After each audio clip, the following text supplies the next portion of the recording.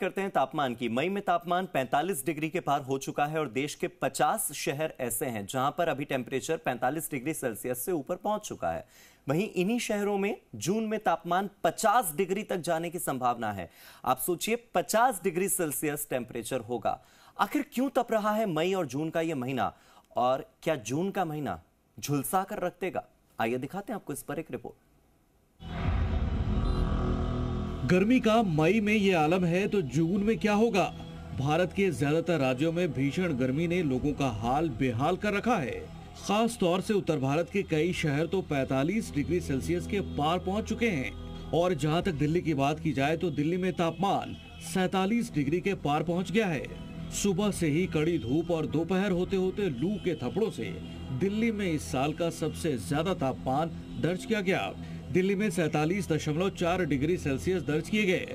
दिल्ली का नजफगढ़ देश के सबसे गर्म शहरों में अव्वल बन गया है। जहाँ तक देश के बाकी राज्यों का सवाल है तो राजस्थान, यूपी, हरियाणा और पंजाब के कई जिलों में तापमान 45 से सैतालीस डिग्री के ऊपर पहुँच गया है। और देश के 50 शहर ऐसे हैं जहाँ पारा 45 डिग्री के पार पहुँच गया है। और आने वाले पाँच दिनों के लिए हीट वेव का अलर्ट भी जारी किया गया है।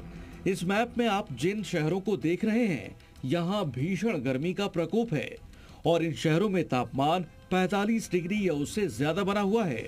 वैसे देखा जाए तो अभी गर्मी की शुरुआत ही है और मई के बाद जून में गर्मी और रफ्तार के साथ बढ़ेगी। आशंका जताई जा रही है कि जिन शहरों में अभी तापमान 45 से ऊपर है, वहाँ पारा 50 डिग्री सेल्सियस से पार जा सकता है। फील लाइक टेम्परेचर कहीं पचास तक हो सकता है, क्योंकि ये जो टेम्परेचर आप देख रहे हैं, ये टेम्परेचर जब ह्यूमिडिटी होता है एटमोसफेयर में, तब तो आपका फील लाइक टेम्परेचर ज़्यादा हो जाता है। और एक बात होता है कि जब लू कंडीशन आ जाते हैं मानी strong dry north westerly wind जब एरिया में देखने को मिलता है, तब भी आपका फील लाइक टेम्परेचर ज़्यादा हो सकता है।